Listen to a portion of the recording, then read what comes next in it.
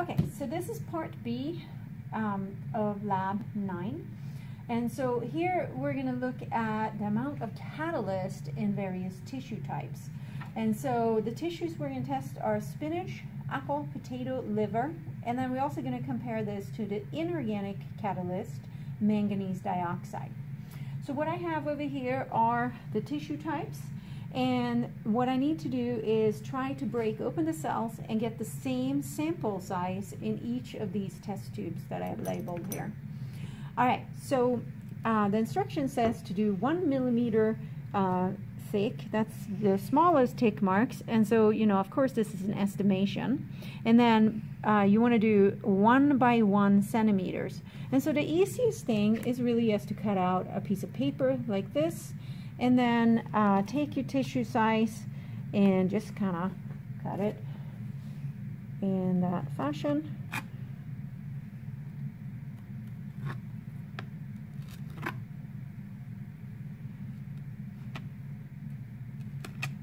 Okay, so see if I can get this off.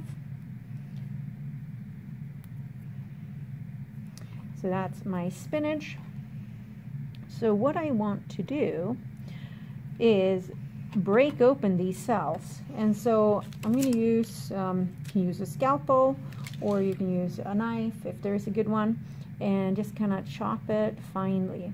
So this is the square that's going to go into my test tube. And this is going to be test tube 1 according to the table um, that you have in your lab manual. So I'm just going to keep chopping it. Unfortunately, it sticks.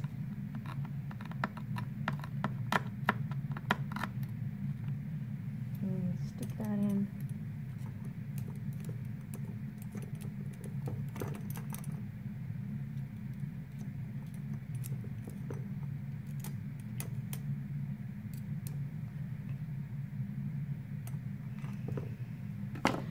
See if we can get it actually into the test tube.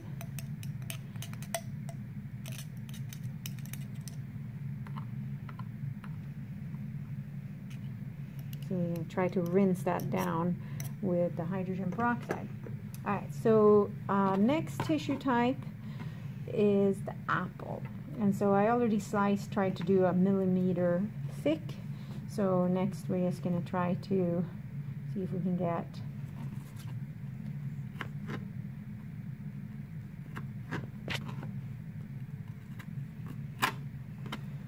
And so here's my apple size. Whoops.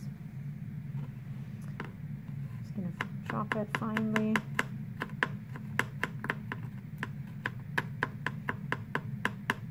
To break open the cells.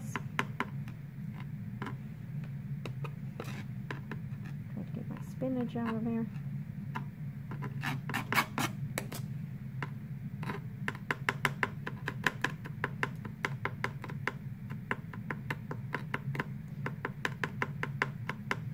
So the most important thing is that when you're chopping it is to try to get the same kind of consistency on the chopping for all tissue samples. In other words, you don't want to have one sample finely, finely chopped and another one coarsely chopped.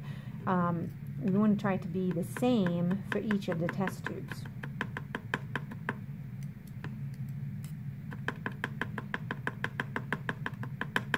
Alright, so we're going to see if we can get that into our test tube number two.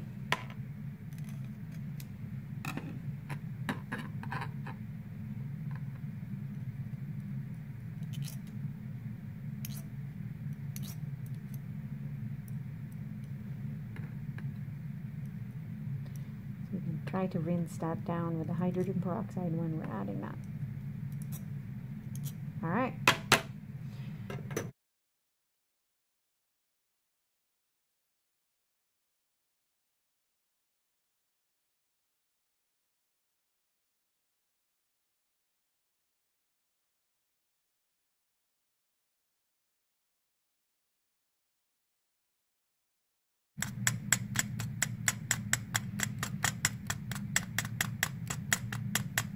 All right, that seems good enough. This goes in test tube number four.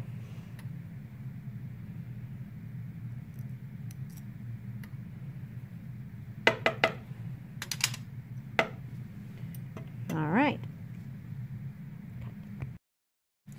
Okay, so I have my four tissues here in test tube one through four. And in the last test tube, I'm just gonna do a pinch of manganese dioxide. And so we have that in the bottom. And next, I'm going to add two milliliters of 3% hydrogen peroxide into each. And then we're going to estimate the amount of bubbles produced in the various um, products here. All right, so two milliliters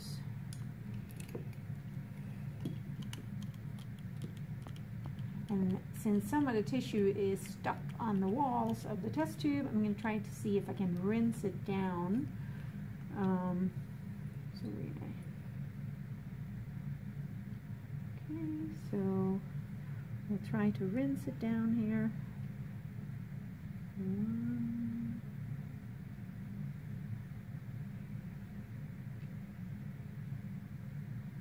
Two. Okay. One,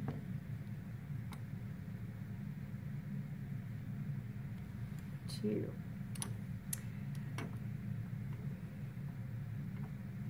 One, one, two. One, and two. Whoa. One. I have to go up.